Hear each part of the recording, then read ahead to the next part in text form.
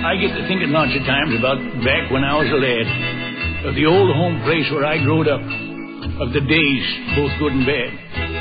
My overalls was hand-me-downs, and my shoes was full of holes. And I used to walk four miles to school every day, through the rain and the sleet and the cold. I've seen the nights when my daddy would cry the things that his family would need. But all he ever got was a badland farm and seven hungry mouths to feed. And yet, and yet our home fire never flickered once. Because when all these things went wrong, Mama took the hymn book down and Mama sang a song.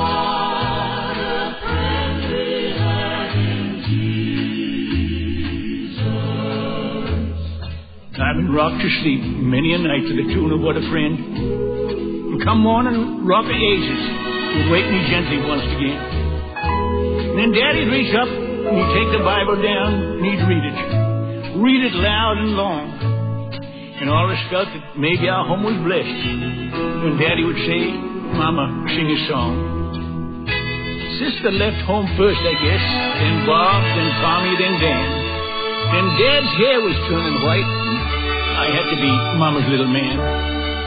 But it seemed that his daddy's back growed weak, Mother's faith growed strong. And them were the greatest days of all, when Mama sang a song.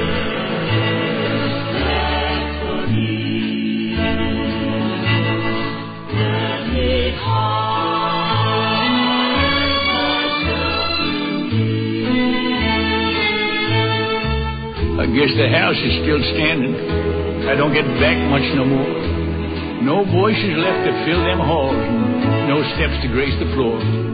For you see, my mama sings in heaven now, around God's golden throne. But I'll always believe this world's a better place, because one time my mama sang a song.